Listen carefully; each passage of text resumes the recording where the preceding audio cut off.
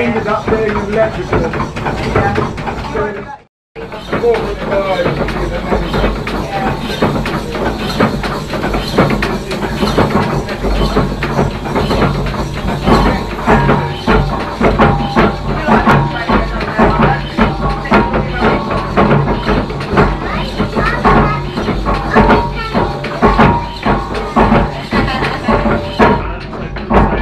which which oh, then sort of is Very good. translated into torque. Is actually the moment you engage the weight. You're welcome.